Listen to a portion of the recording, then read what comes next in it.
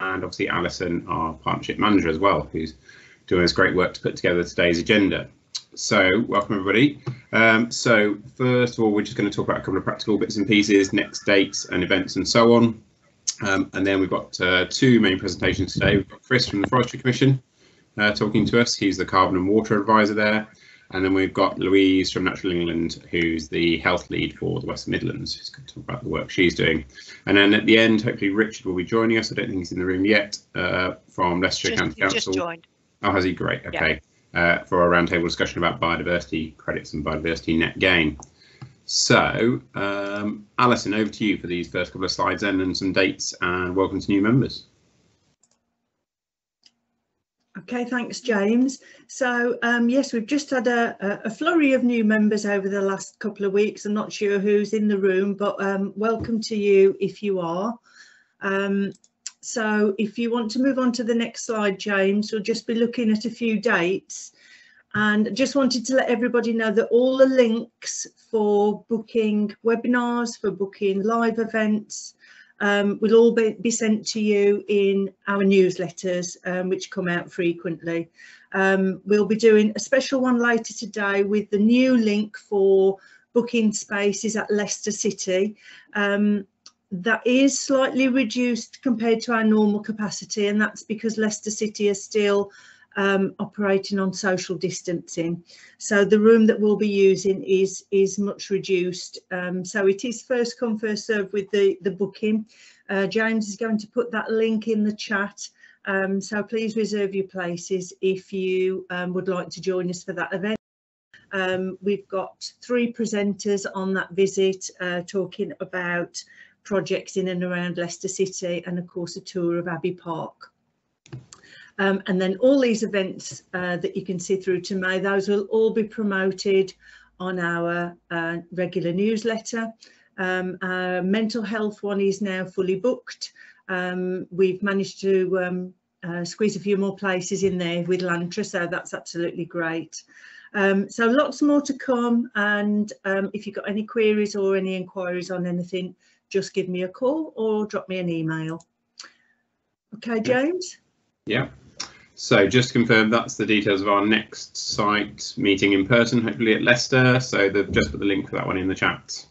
Um, so if anyone doesn't know, Abbey Park, right, right near the centre of Leicester, isn't it, Alison? That's a nice and easy one to get to, actually. Yeah, and on the newsletter, which I'll send out shortly, and on Eventbrite is all the parking information. Um, and if you want accessible parking, that can be arranged. So just let us know. Great. Okay. And on the next slide, I've just just put that in. We have got um, the West Midlands Combined Authority green grants in our March webinar but they are offering, and, and, I'm guessing, sorry, East Midlands, this probably won't apply to you, um, but they are holding their own webinar on the 27th about the green grants. Um, so I haven't got any more information than that, but again, the link there um, that I'm sure James can again put in the chat. Yeah, I'll try and open that for you. Yeah, that's the link to um, to booking onto that uh, funding webinar. Okay, let, let me just, I'll stick that one in the chat now as well. Okay. Go. Okay. Okay, great. Thanks, Alison. Thanks for those. Thank you. It's easy for people to look forward to for the next few events there then. So our first speaker today, as I mentioned, is Chris Waterfield, who's the Carbon and Water Advisor from the Forestry Commission. And he's going to talk to us today about natural flood management. So Chris, over to you, and then just give me a nudge as you want your slides progressing. Thanks a lot. Um, so uh, thank you for inviting me today. Um, happy to uh, to come and talk. Uh, it seems to be been a long time in the planning. I think um, I must have talked to Alison in October or even September about um, about coming to um, to talk to you, and it's my great pleasure to be here. I'm going to give a very simple um, uh, description of what natural flood management is, and so I apologise if it is already stuff that you know. And I've just noticed that my first slide has just forestry. It should say forestry commission. There's obviously a blanked out bit across the um, the, the commission part of my um, of my slide there. But um, if you could put me onto the next slide, that would be superb. So you can't talk about natural flood management without talking about the water cycle. And I know that most people, anybody who's done geography O level or have studied it at all, probably even in infant school, um, will have learnt about the water cycle. But um, it's it's really important that uh, we remind ourselves that um, what we're talking about is a natural process that um, that happens all the time. Um, I'm not going to try to uh, read off that water cycle um, uh, slide there, but you can see it, and I'm, I'm presuming that this will go to uh, to everybody afterwards. But um, you can see that, in fact, even in that drawing, um, you can see that the trees and woodlands play an enormous part in the water cycle. Um, not only in what we now call slowing the flow, but also in um, evapotranspiration, infiltration, interception of water as it cycles through um, the water cycle. Uh, next slide, please.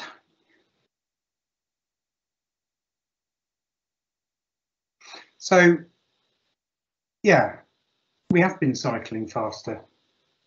For the last 170 years, um, since industrialisation and the, the Industrial Revolution, which um, you know began I guess in in Manchester and the Midlands, Midlands and Manchester, whichever way around you want to uh, to put it, um, the this uh, cycling of water and getting it from um, from the clouds to industry and out again um, has um, has just speeded up. We've made it far um, easier for water to travel through our um, through our systems. We've built special um, channels for water to go down and we use it in incredibly intensive ways. I did hear once um, a very long time ago, so this stat is probably wrong, but water that um, comes into the headlands of um, the Thames has gone through people seven times that might be seven different people, it might be seven the same person, but it's gone through people seven times before it reaches the um, the sea in the North Sea, which is quite some sort of stat if you think about it. And that is repeated, I imagine, across the country. That kind of constant half cycle of what the water cycle is through um, you know, sort of industri industry, industrialization through canals and channels and rivers and back into the system. And we've noticed um, all over the place, and you'll probably have heard it in the um, uh, in the news that our part treated or untreated water gets back into the system um, which we don't, you know, we don't want to see. But that's not not what I'm going to talk about now. Um, so we've made this cycle very fast. What do we need to do now? Next slide, please. Well, we'll slow down the flow now, please. We'll start to make um, that water cycle work properly, work and work a bit slower. I have to say that natural flood management as it goes in works in small catchments. When I say small catchments, I mean catchments that are about 100 or um, or less kilometres square. That's still quite big, um, but it's uh, it's shown that the science shows that um, you can see an appreciable difference from interventions such as the ones you can see in the um, uh, in the pictures there if the catchments are small. When the catchments get larger, it's difficult to tell that the, in, that, that the interventions you make have much effect on a larger catchment, but you can see it in a smaller catchment. And in in in, in most instances, what you're talking about is a reduction of of five percent in the peak flow. So five percent in the peak flow could be um, the difference between uh, storm waters overtopping a flood system, a flood defence system, or not. So it is important, but remember, I think this, well, the, the, the Environment Agency and the Forestry Commission both think that um, natural flood management through, you know, sort of nature-based solutions, and working with natural processes, um, should run alongside more conventional engineered solutions. We're not talking about this as being the panacea for all flooding or anything like that, but it is something that that can be done, and it can be done in um, an urban setting, as long as you're not putting um, at risk uh, any communities or infrastructure that are um, down or upstream of, of your interventions, um, at risk of flooding, that is. Next slide, please.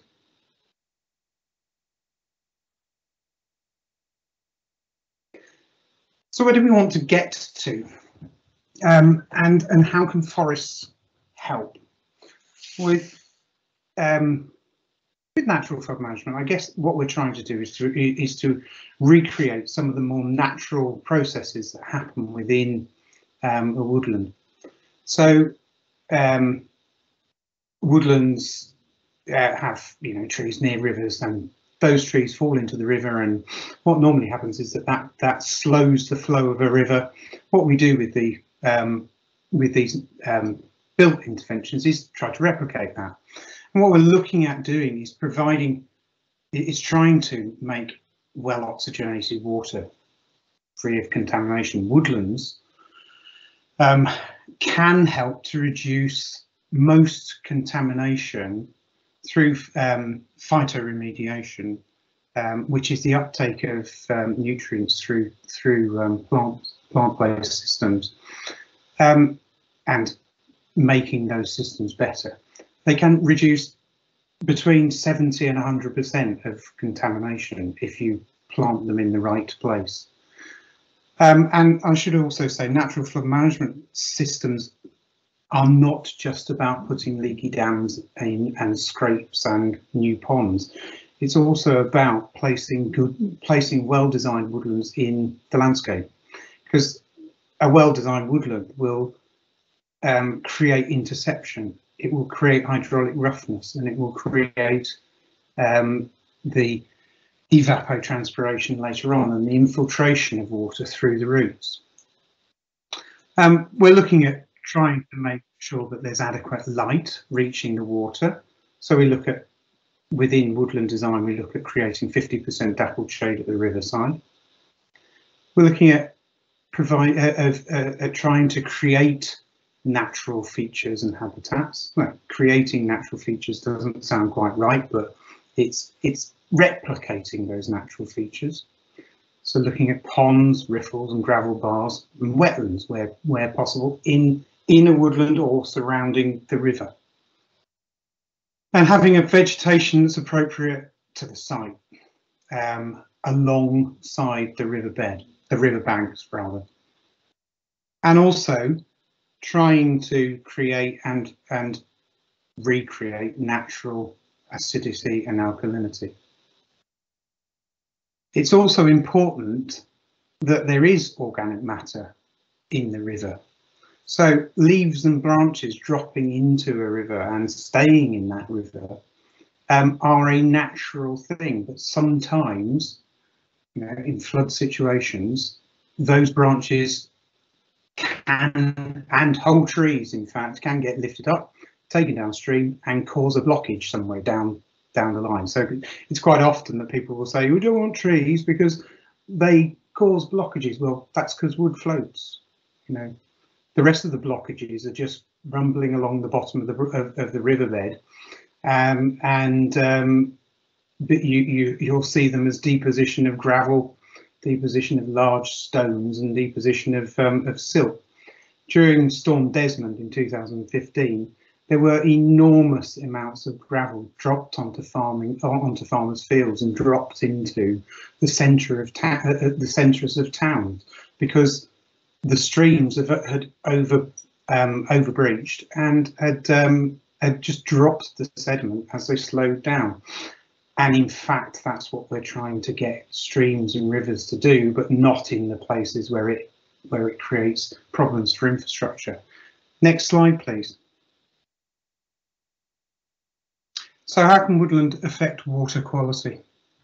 Um, WFD there means the Water Framework Directives. Um, Water Framework was a European piece of legislation brought in in, 2000, in year 2000, um, in which which looked to move um, European rivers and streams and um, water bodies towards a good ecological status. And woodland creation and good and effective woodland management, I should say, um, helps to protect soil and it reduces, therefore, the sediment delivery into the river. Um, you, it, by creating woodlands alongside streams and alongside other water bodies, um, you reduce the amount of fertiliser that you might put onto um, and, and pesticides that you might put onto the land. So therefore, you can you can reduce the amount of um, nutrient load in the in the water in the river. Woodlands intercept pollutant pathways. They also intercept stormwater pathways. And the hydraulic roughness caused by leaving land and allowing it to grow as woodland, um, and so therefore natural colonisation read natural colonisation as well as um, woodland creation. But you can you can look to intercept those pollutant pathways. It'll also help with protecting riverbanks and increasing the channel diversity. Um, the root systems of trees will form a solid structure around which the riverbank um, can retain itself, apart from in huge um, in areas of or where there sorry where there is a um, a sudden flash flood maybe and um, the the river's just not prepared and also of course um, a woodland around a river will help to create a microclimate next slide please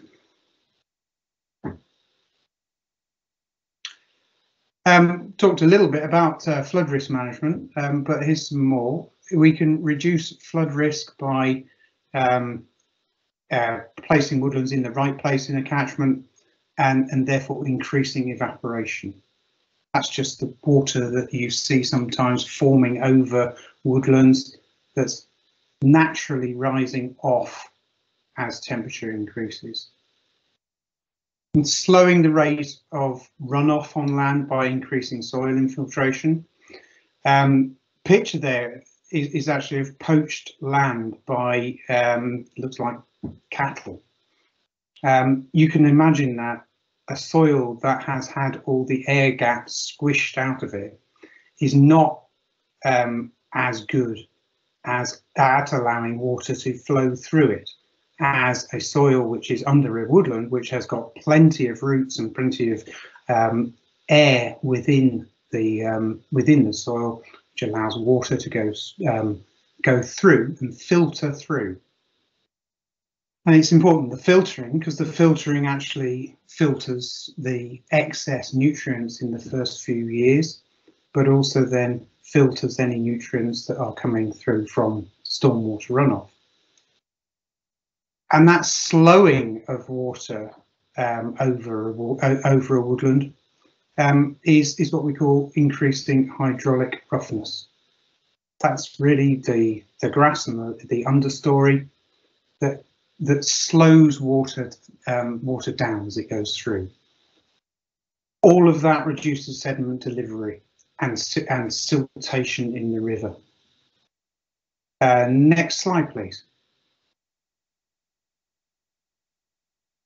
So I'm going to look at a um, simple case study, um, which is in a place uh, a place called Crompton Moor in Oldham, um, which is in Manchester, where I um, where I live. And this was carried out by um, the City of Trees, which is a community forest, and Manchester Metropolitan University. Essentially, they were looking at um, how cross slope tree planting can affect surface water runoff um, compared to uh, a Molinia dominated landscape. And if you can, if you see the um, uh, the, the, photo there, um, those different coloured um, rectangles are trial plots.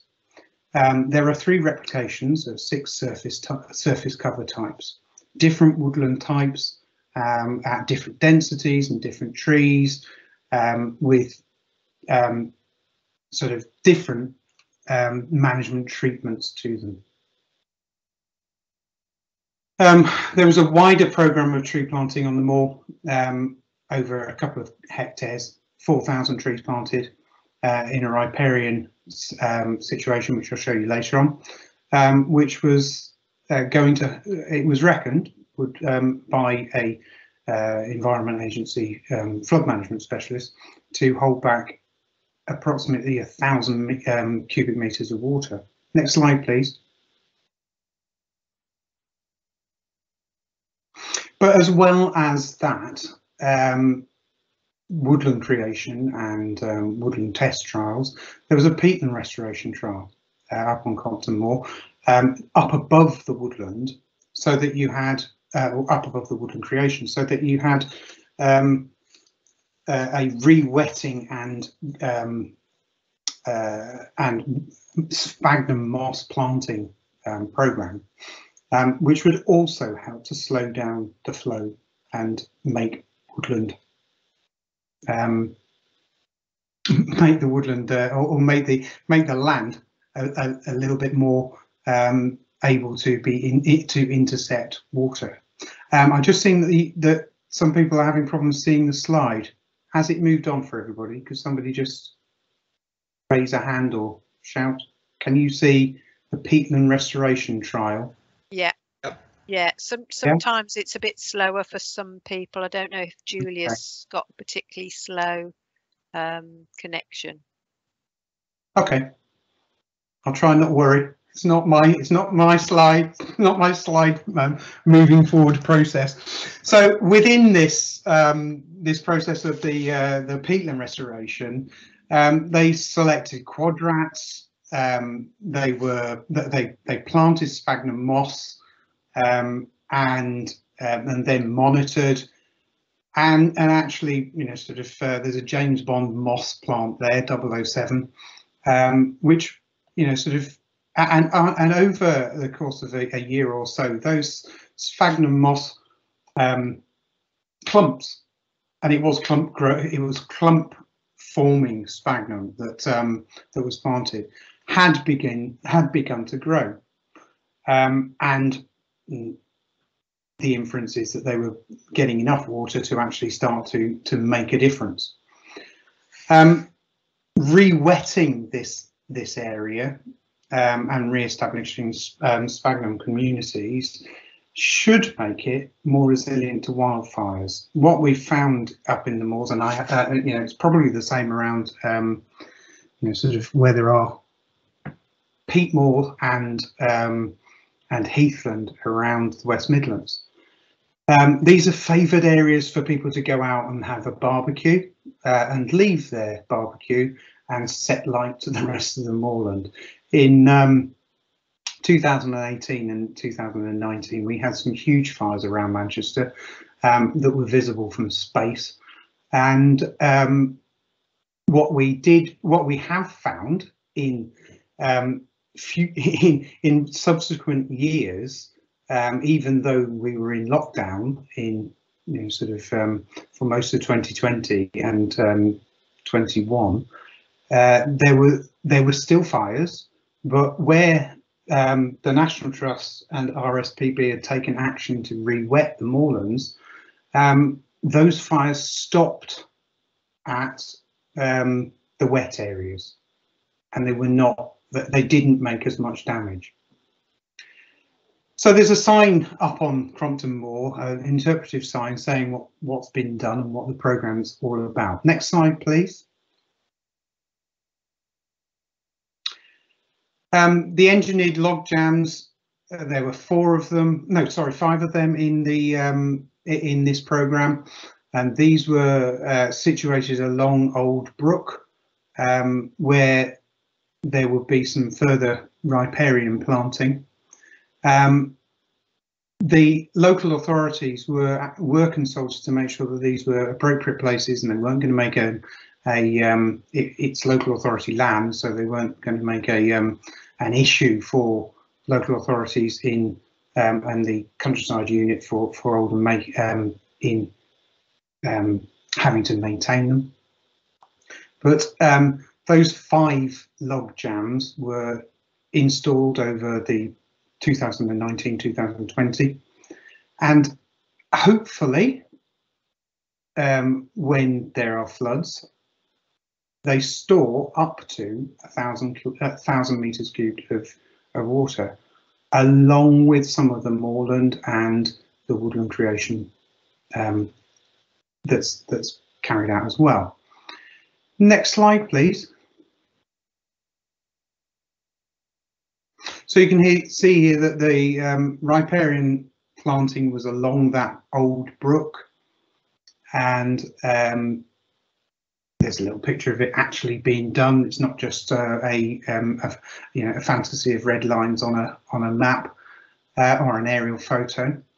Um, and it it was reckoned that based on previous research undertaken by forest by forest research, um, this riparian woodland woodland creation would in, uh, reduce the water runoff by about 30%. And if you if you think about that in some of your areas maybe and think about how you might plant woodland alongside um, rivers in parks and the urban country parks, um, you might be able to reduce some of the surface water runoff that um, that ends up in the rivers going through your parks, the streams going through your parks.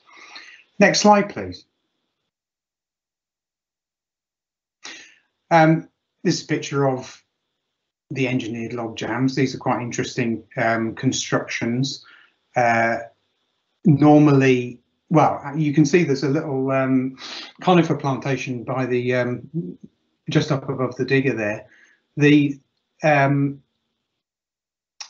the cross pieces that you can see um, were all sourced from that plantation, which was sort of had a felling license on it, so that so they were allowed to take them out. But the interesting thing about these engineered log jams is that they also have willow weaved in between.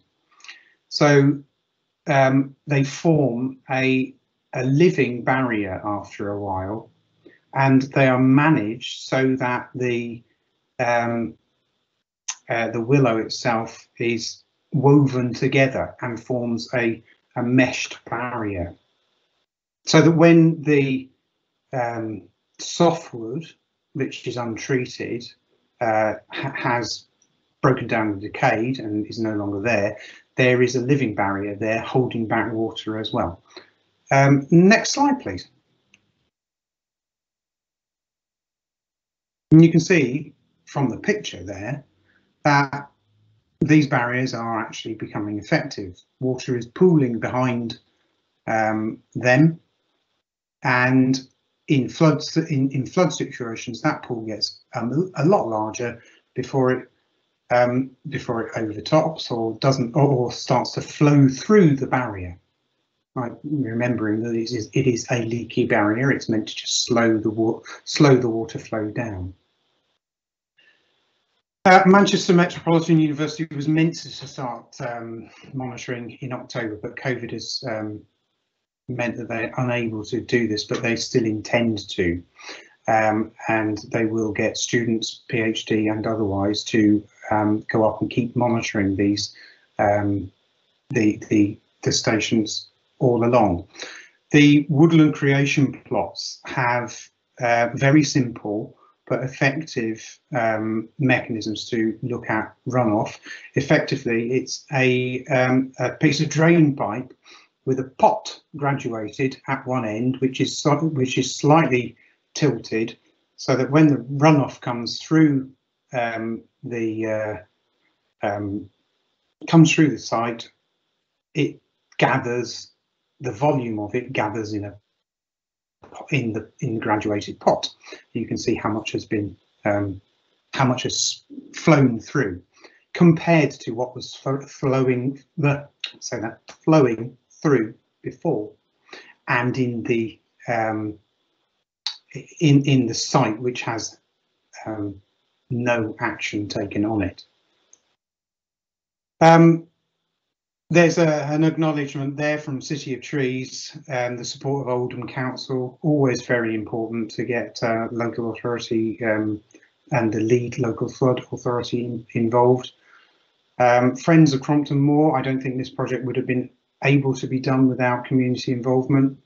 Um, and the funders, Greater Manchester Combined Authority, Forestry Commission and Moors for the Future and Man Manchester Met and importantly, walking walking with the wounded, which is a um, a veterans um, society, support society. Next slide, please. Just wanted to alert you to some other um, resources that are available um, with working with natural processes. The Environment Agency, as part of the write-up of um, the interventions put in, the natural flood management um, interventions put in, in um, after the 2015 um, Storm Desmond, um, they produced some one-page uh, documents which give you some some um, clear guidance and some expectation management on the various different types of woodland creation in this instance that you can you, that you can expect. Um, there are a whole host of different one-page um, uh, one-page examples and case studies. Next slide, please.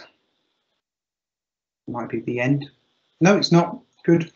Okay, so I'm just going to, uh, as well, um, just mention the um, Woodland for Water project, um, which is a um, partnership project um, from the Rivers Trust, National Trust, Woodland Trust and the Beavers Trust.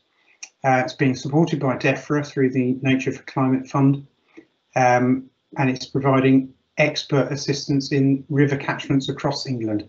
The six catch point um, Pathfinder catchments are the Taw and the Torridge um, down in uh, in Devon, the Tamar and the Fowey, also in Foy, sorry, I should say, also in um, in Devon, the Bure, the Stiffkey, Wensum and, Heach and, and Heacham in Norfolk, Eden and Derwent in Cumbria, the Tame and the Wye and the Usk. So that is to increase riparian woodland planting um, through signposting people to the England Woodland Creation Offer, which is the um, the grant that's available for woodland creation in um, in England.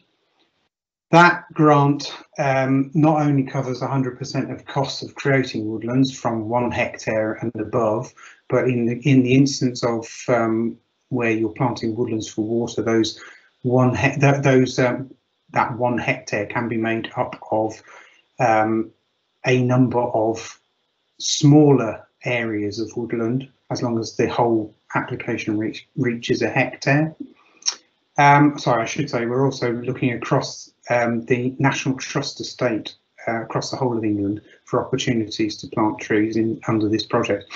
The EWCO, as it's called, um, grant has um, additional payments uh, which are based around um, providing public benefit. Three of those are based around woodlands, uh, uh, around water benefits, water quality, flood and riparian shade. Next slide, please.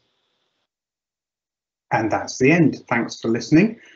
That's my um, email address if you'd like to ask questions afterwards that you don't want to ask now. Um, but thanks very much for listening. Fantastic, thank you very much, Chris. So um, if we can take questions, either people want to raise their hand if they've got something or in the chat, whichever whichever suits really. Um, oh yes, so Alison just asked about a link to the slides, which is in the chat. So um, if people can can see that there's a link there. There's actually I, I noticed when I was looking it up, there's a, there's a wider web page. It looks like it's got a hell of a lot of detail in there if people really do want it. Chris, but um, that's the link. Yeah, the um, those those guidance sort of documents. Yeah, the um, the the examples and case studies are um, on gov.uk. Um, you you just need to put in working with natural processes actually into a Google, Google search and it brings you straight to them. Um, the also on gov.uk is the um, the grant information okay. for Woodland Creation Offer. Uh, Liz, you've got a question? Sorry, I'll just take myself off mute. Um, yeah, I was really interested in the um, the moorland re-wetting that you talked about and how yeah. you go about it. Is it is it just blocking off drainage channels? Is that what they do? Yeah, in in the main, Liz, is it's about that, but it's also about making scrapes and um, horseshoe-shaped um, sort of divots, I suppose, in um, in the moor to gather water on the surface of the moor. Because what you're doing if you're just blocking up the um, uh, the you know drainage or um, natural streams, um, you're you could possibly just be creating a further erosion issue. Um, so it's really important to integrate with um, holding water on the surface of the peat to allow it to sink through and, and actually let the peat work as a sponge, um, which is naturally what it's what it's like. So yeah, it, it, it's a whole combination, and and though it's difficult, um, there are specialists like Moors for the Future who work in Derbyshire um, who can help, and they're always looking to expand their area of operations. Um, we, but yeah. got we've got lowland heath and we have tried re-wetting through blocking of, of drainage channels and that seems to work reasonably well. Well so well that the locals are up in arms that we've um, managed to re-wet one of the um, important footpaths yeah in, in in some instances you have to be really really careful where you put um, the drains or put the blocks in the drains um, and, and, trying to site those so that they're not near um, near footpaths is, is the problem. Um, but yeah, that sounds like it's been successful. yeah, I think we want to do some more, but as you say, we'll try we'll try in uh, uh, more remote remote locations next time. The other well, yeah. thing I want wanted to ask um, is uh, I, with with my colleagues in Lichfield, are looking at um, trying to get some private sector investment into um, biodiversity improvements at the moment um, through this latest DEFRA funding. And um, flood alleviation opportunities haven't really um, sort of come up because mainly because I think our, our flood people are more interested because I work in a very very urban area they're more interested uh-huh. in flood alleviation within the town centres rather than in the sort of you know countryside areas so I was wondering if you knew of anybody in um, the sort of water um, yeah. bodies like uh, Environment Agency where I could go to to find out more information, basically. Well, the, yeah, the Environment Agency have got some good um, uh, good stuff on their website. Um, I would I would also look for the Rivers Trust because they're very good. Some of them are um, more concentrating on uh, the ecology of rivers and the fishing, uh, you know, sort of fishing actually and angling. Um, but some do stretch further afield and think as, as, at a wider catchment level and it might be worth your while looking at the catchment based approach website to see whether there is any anybody in your area of Lichfield who could kind of who could help. It's good to talk to the catchment coordinator for the Environment Agency. They normally have a complete overview of everything that's going on in their catchment um, and can put put their fingers on um, not only the right place to do something, but who's got some money to do what, and whether they would be whether they would be interested in helping you as well. Um, the there, there's also um, Natural England, obviously, who would be able to provide potentially provide funding um, through their part of the Nature for Climate Fund, which is mostly looking at peat restoration, um, but is um, but they are always worth talking to about seeing where the money where the next lot of money could come from. I I would also think if you've got an innovative um, way or you're thinking innovatively about how to get the money, maybe look at the Natural Environment um, Investment Readiness Fund, which is coming up the That's second the one we're round. applying for. Cool. Good. I'm glad I put. I, I'm glad I said that as well. Then, but because that, if you're thinking innovatively, um, can help you to um, to to sort of gear in money. Yeah. And Lovely. funds. All right. Thanks ever so much. And we've just got one question in the chat as well, Chris. So from Julia, which is asking about the density of tree planting and, and what density you need to plant to make it. I, I assume when she says close, okay, so it could be proximity to the watercourse or actually density of planting itself. Both will have an impact, presumably. They will, yes. Um, uh, the the density is um, within the within the grant scheme. Our density says 1,100 stems per hectare. Um, that sounds a lot, but actually that's what you would probably see at the start of any project that was looking to create woodland that was for um, biodiversity reasons, um, birds and uh, and the like. Um, but in in fact, um, you can probably go down to between four and six hundred. Um, it's just that you might not get the the extra supplement for planting a riverside project at four to six hundred stems per hectare because the um, the design criteria has, stipulated uh, 1,100. In previous grant schemes, we've said that riparian woodland, which I guess is where you're where you're talking, should be planted at 1,600 stems per hectare, but we've brought that down to 1,100 so that you can also claim the biodiversity um, additional payment and you're not separating yourself out from. Um, closeness to woodland or to rivers, um, that depends. If it's a main river, you have to ask permission from the Environment Agency if you're planting within eight metres of a um, of a main river, because they require access if there are flood defence um, issues along the riverside. Um, but the UK Forestry Standard gives um, appropriate buffering for the size of the river. Um, and it's not and and um, off the top of my head I can't quite remember. I should be able to but I can't. Um, but it depends on the size of the river.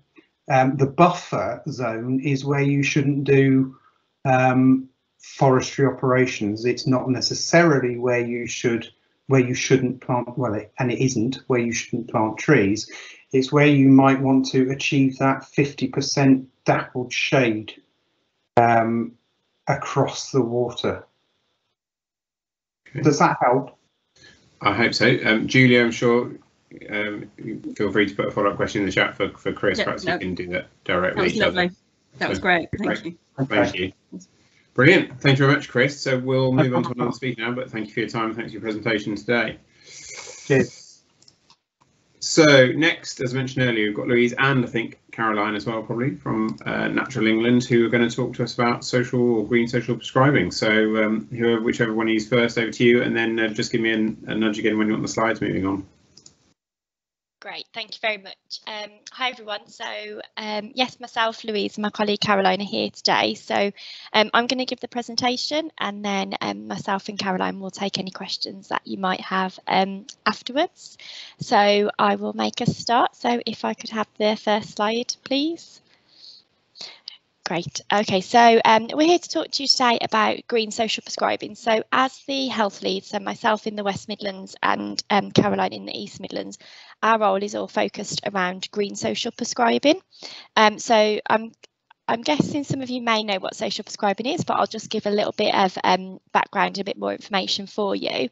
Um, social prescribing, so it has been around for a number of years, um, but in sort of different formats.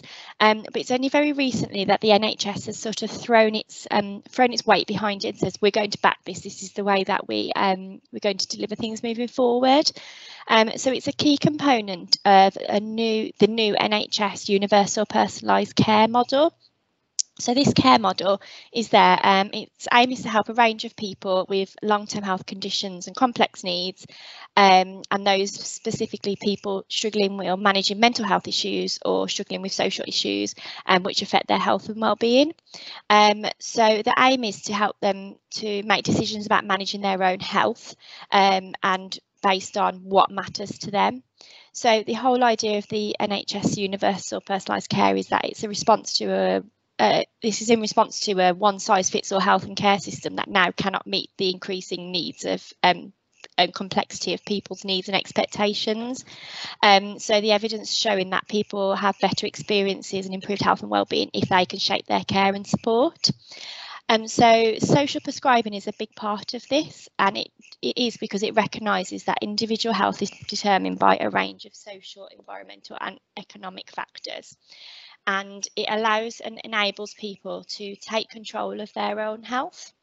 So how it works, um, although there's various models employed throughout the country, it typically works whereby a health professional, also known as a link worker or a health connector or um, health educator, um, works with individuals on a one-to-one -one basis to connect them to activities that may improve their health and well-being the aim is they're working with individuals who um, might continually or frequently access GP um, services or wider NHS services um, when they don't have a acute medical need, there is a social need that needs addressing.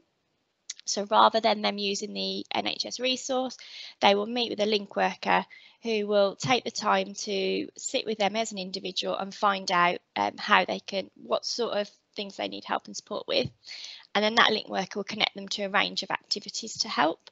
Um, typically the range of activities they'll connect them to will be delivered by um, voluntary and community sector organisations. Um, if I could have the next slide please. Thank you. Um, I think this is a nice sort of infographic or um, visual to better explain social prescribing. So as I said, it's all about addressing people's needs in a holistic way. Um, so we have a link worker who spends that time with that individual. It allows the individual to really take control of their own health um, and that link worker will then connect them to a range of activities, whether that be um, through the through physical activity, the natural environment, through um, money and um, financial support, or through arts and culture. And the next slide, please. Thank you. Um, and just some headlines about social prescribing. So I think it's quite a buzzword at the moment. It seems to be about everywhere and it's everyone seems to be getting involved. And I think it's really um, good to know sort of what the emerging evidence is saying. Um, so the research and evidence suggests that 20% of GP appointments at the moment are about wider social needs and not necessarily about a medical issue that can be treated by a GP, a prescription or an NHS service. And following on from that, the National Health Alliance suggests that 30% of people who do access a healthcare service, whether that's in a GP setting or a hospital setting or in a community, it is again for a non-medical need, so quite high there. Um, and then 59% of GPs do think that social prescribing um, can reduce their workload. So as I said, it's been around for quite a while now, social prescribing, but in different forms. And uh, there was a huge, a couple of studies that have been carried out, um, but a, a, study in Bristol that was carried out over a number of years. Um, the emerging evidence from that suggests that a social prescribing model or social prescriptions can lead to a range of positive health and wellbeing outcomes. And more importantly i suppose well more importantly alongside this is a reduction in gp consultations. So they found that over a, i think it was a six month period of time there's a 40% reduction in gp consultations um, which is um, obviously one of the the aims of of it Um, they have some figures as well that the NHS have committed to. So um, they were looking to have a thousand link workers in post by the end of last year and four and a half thousand by 2023, um, which means that over 900,000 people would have been referred through a social prescribing pathway um, last year and two and a half million by 2024. So there's a real commitment to um, to make this work. Uh, next slide, please. Okay, so uh, why green social prescribing? So we're going to look at uh, more specifically where we come in. Um, so we all know that being outside and being in nature is good for you. So we know that being outdoors um, reduces stress. We know specifically spending time in nature decreases anxiety, feelings of anxiety, depression, and it boosts self-esteem. And it also reduces mental fatigue as well. following on from this, we also know that um, exercising outdoors um, or exercising in nature increases our mental performance and concentration skills as well. Uh, next slide, please. And specifically looking at how uh, nature or being outdoors can address health issues.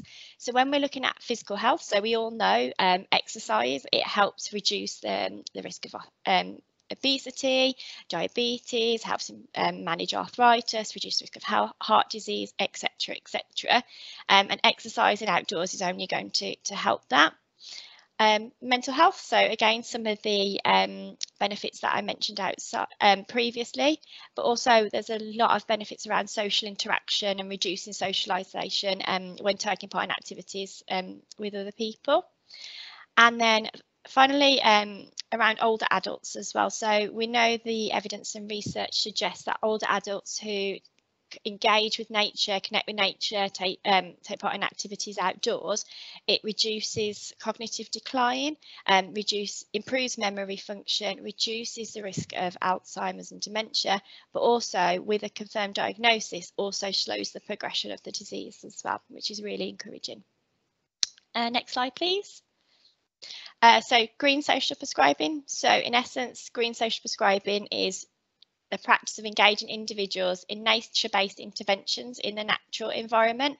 So we're looking at any sort of activities that an individual can do that take place outdoors in a natural environment, anywhere from, this could include from um, a local park to a national nature reserve to a woodland or even blue social prescribing which takes place around water.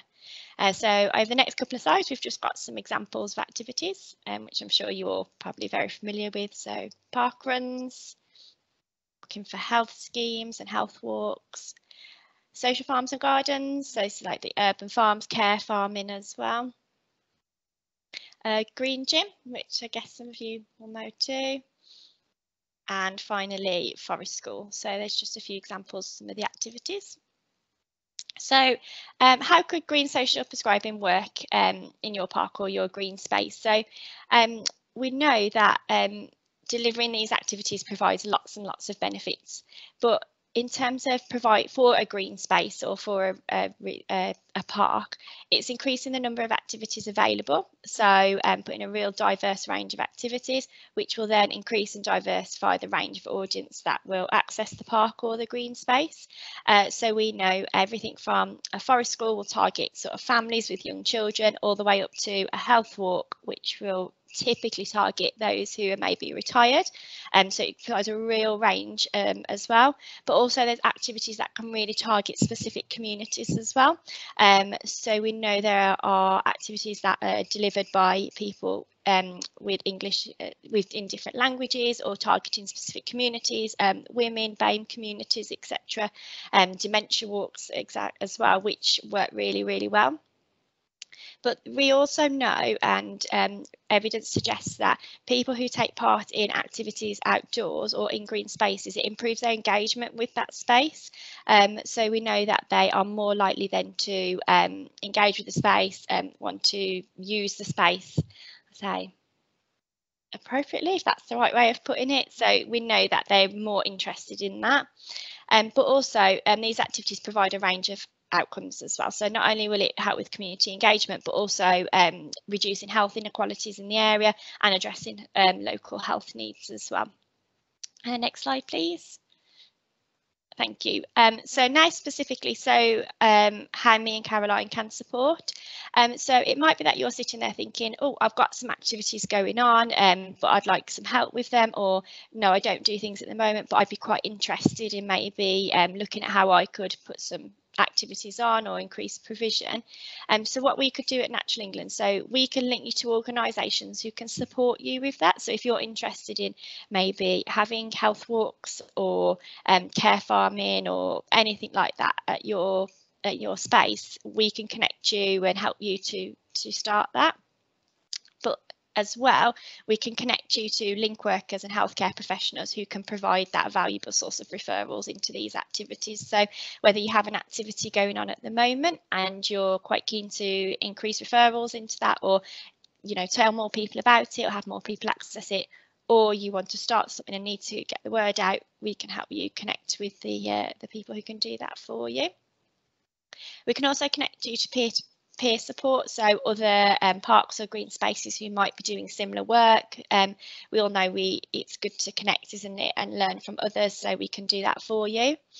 Um, we can provide very, very, very limited support around funding. Um, so we can signpost you to um, funding that's available, um, but that's pretty much it where we can go with the funding, unfortunately, but we can sort of um, signpost you to that. And then we can also connect you to other Natural England work. I think you've had speakers in the past from other areas of Natural England, but if it's something that you're interested in, um, we also can connect you to our inclusion officers, our teams who work around the Nature Recovery Network, obviously Biodiversity Net Gain and our NNRT, our National Nature Reserve teams as well. Uh, next slide, please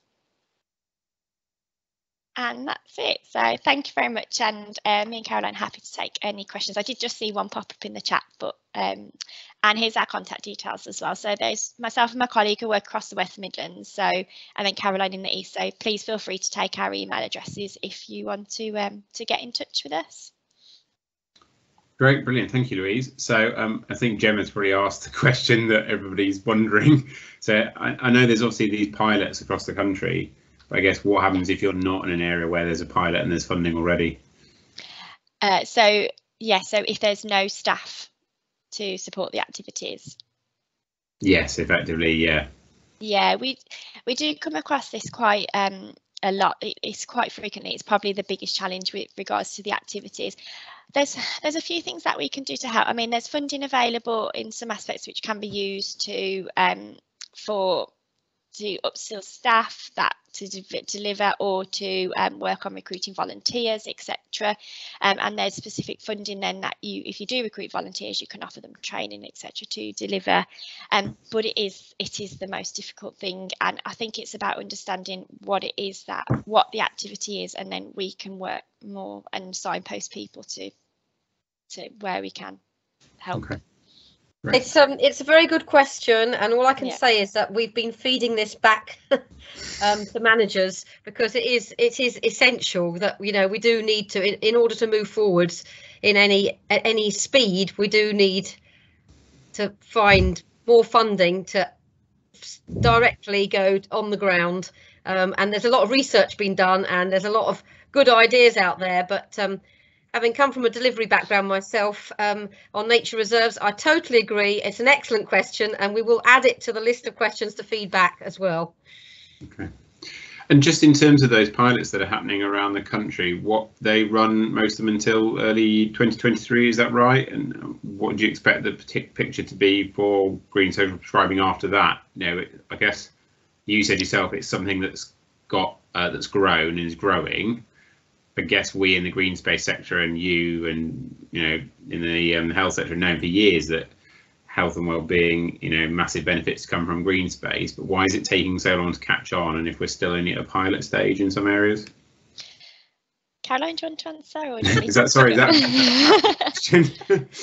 um, uh, I. Uh, the truth is they have to all i know is that um, i mean i've asked the same question so uh, um, i think the fact is they have to have the evidence there all the time you know to in order the, the idea is that they they have to prove that these from these pilots it has to go back to government and they natural england has to prove that this is this is the way forward. It we do, do want to roll it out. I have heard rumours that there aren't going to be any more pilots after this. The idea is that this will then be rolled out and that hopefully there will be more funding to roll it out across the country. But I can't really say, I can't say for sure, but that's, um, I think it's just a process.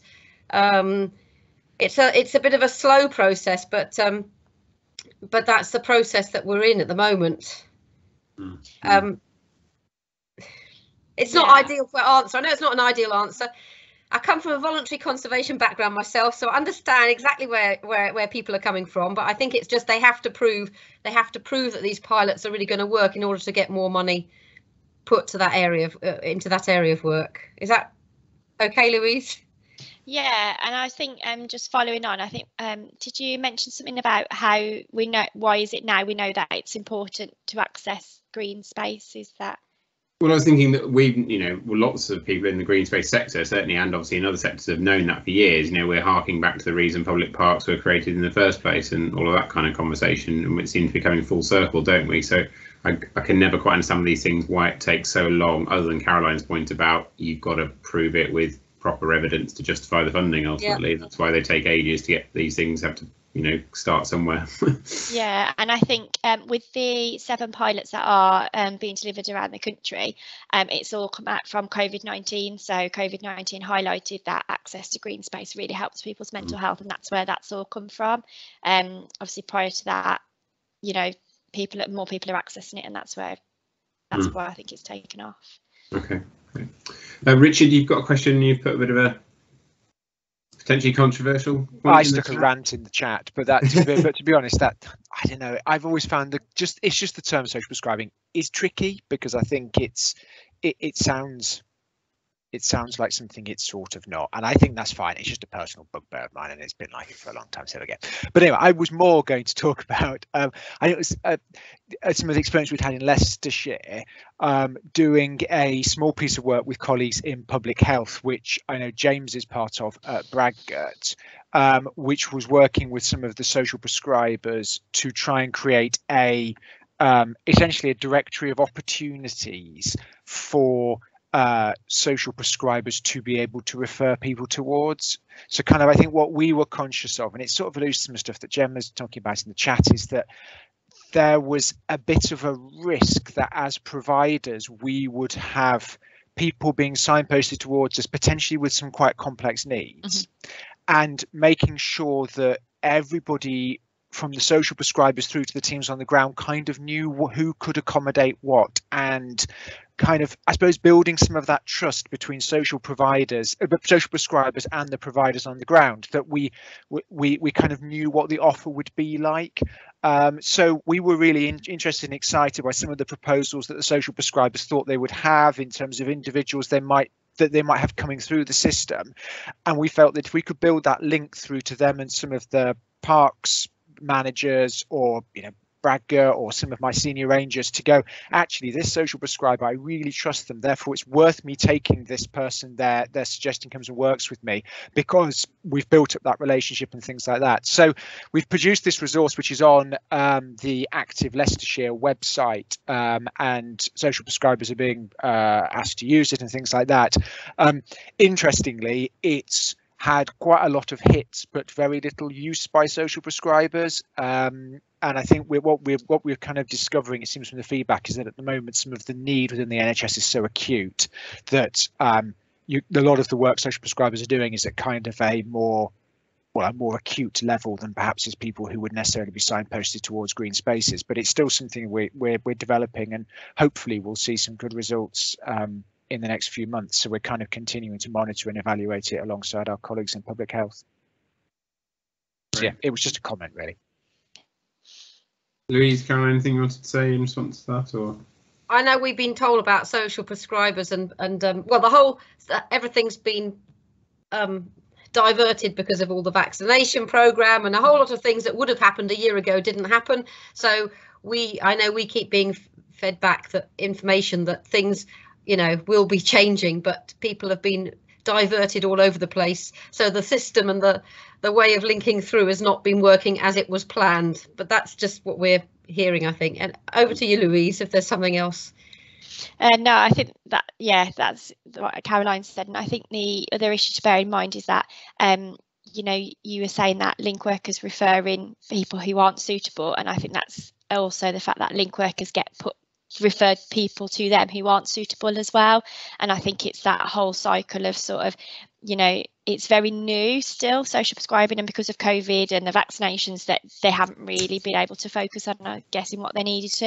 And i think it's just going to take time to work out. And this is where mine and caroline's roles um, working with the national academy of social prescribing to really sort of address it and how in you know how can we get it working?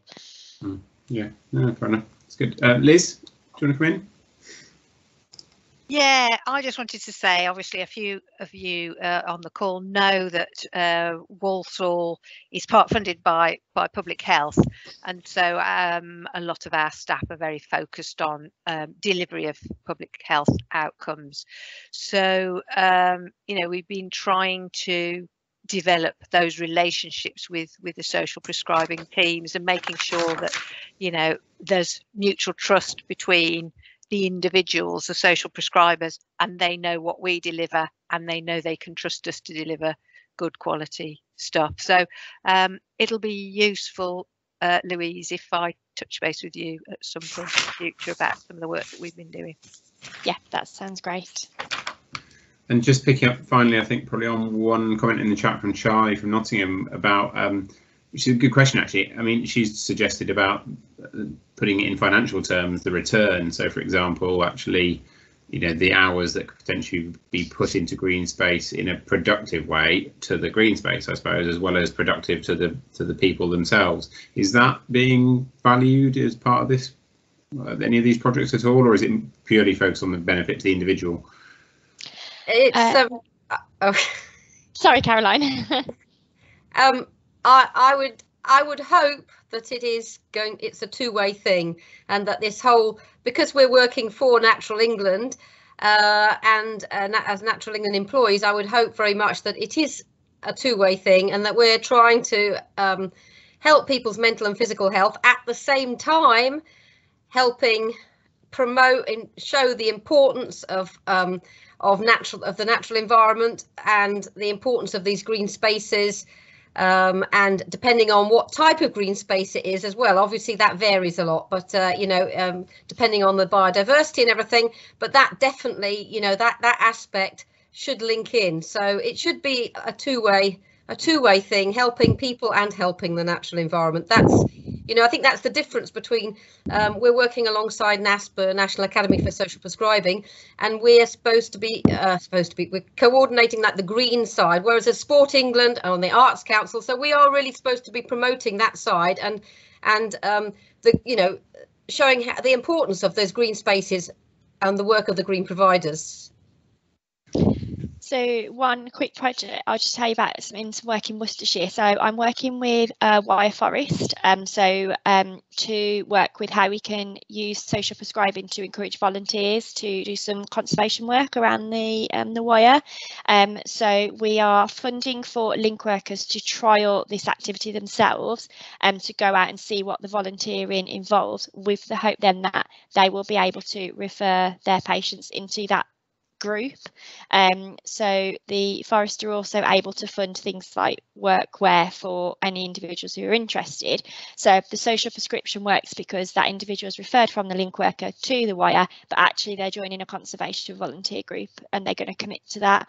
Um, so the trial is taking place next well sort of end of february early march and what we're hoping is then there'll be an influx of volunteers um, to the Wyre. um, obviously it's costing us that funding to initially do it but if it if we're gaining volunteers then it works so you know if it's something that i'm really keen to to replicate so if anyone is interested and would like to talk about that more um or would like to replicate it let me know and we right. can do that yeah that's really useful i think you know the conversation that charlie and gemma started in the chat about having someone to coordinate them is obviously really key. But mm-hmm. certainly, you know, some of the examples where there's great volunteering going on, the the sheer number of hours that those volunteers are able to put back in more than you know demonstrates the value of having the, the coordinator in the first place. So let alone if you've then got all the benefits to the individuals as well on top of that. So yeah, yeah. brilliant. Great, thank you very much for your time, both. That's really good. Let's just thank hope you. it becomes um, the norm, you know, after these pilots really, and can spread across country. Okay, so the last bit of our agenda today is this roundtable discussion uh, on biodiversity credits and biodiversity net gain. So uh, I think we've just got the one slide on this. So over to you, really, Richard, if you want to just elaborate on your input. And then I think Rebecca from Worcestershire is going to chip in as well. So over to you both, really.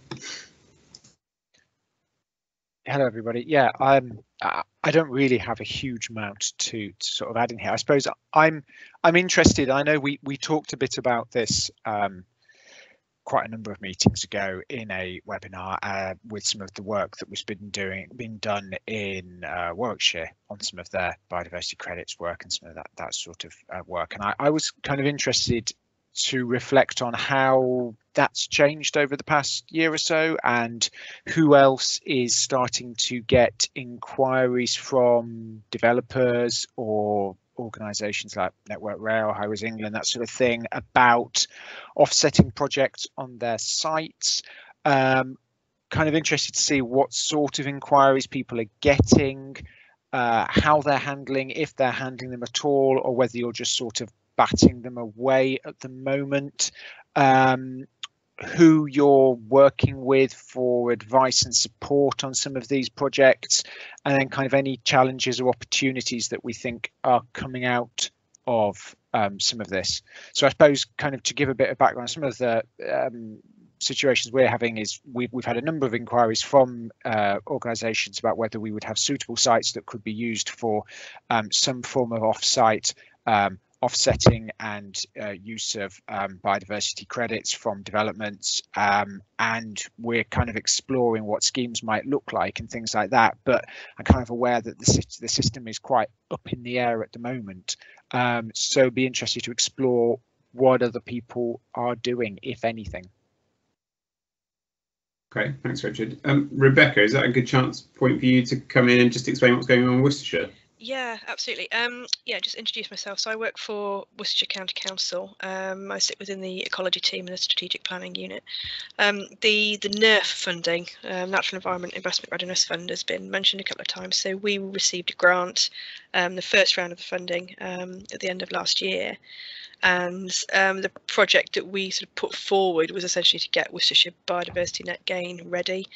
So the county council um, put in a, an application with with the South Worcestershire councils, Wychavon and Malvern Hills, um, to work together um, to sort of look at you know what we needed to do essentially to get ourselves ready to deliver the biodiversity net gain mandate. And we're um, then engaging with the, the, the, districts in the north of the county as well giving them the opportunity to sort of um, engage and opt into all of this. So we're at um, early stages I will say. We're only just sort of starting to get into the, the meat of the project really. So I'm very interested to, to hear what you guys have got to say in answer to um, um, Richard's questions, because I think um, there's going to be a lot of common themes from local authorities across the county. You know, it's it's going to be a very much a cross-border thing. So I'm happy to chip in um, with sort of my experience so far um, to people's questions and stuff. But yeah, very interested just to to get involved in the discussion.